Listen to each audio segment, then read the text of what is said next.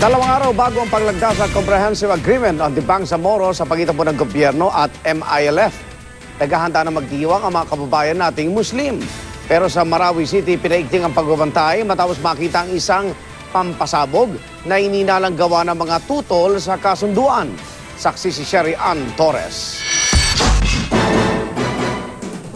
Lalo pang hinigpitan ng seguridad sa Marawi City matapos madiskubre ang improvised explosive device na ito.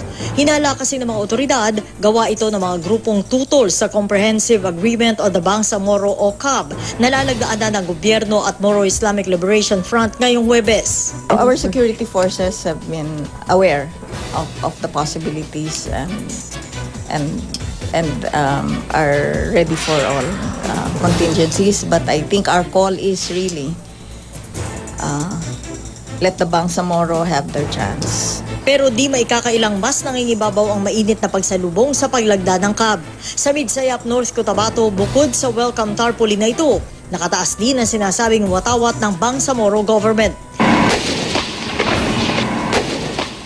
Sa bikang marami, lalo't dekada ang inabot ng pakikipaglaban ng mga kapatid nating Muslim para magkaroon ng mas malawak na otonomiya mula sa pamahalaan.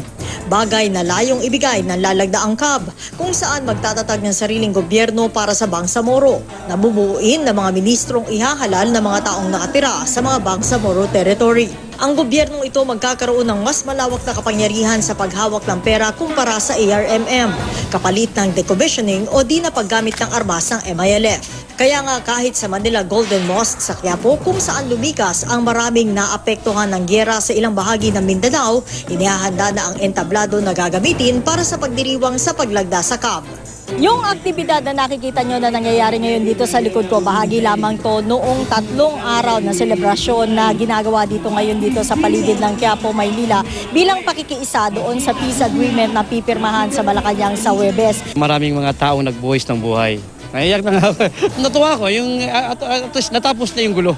Sana wala nang, wala nang susulpot pa, yung bang ma- makikigulo na naman.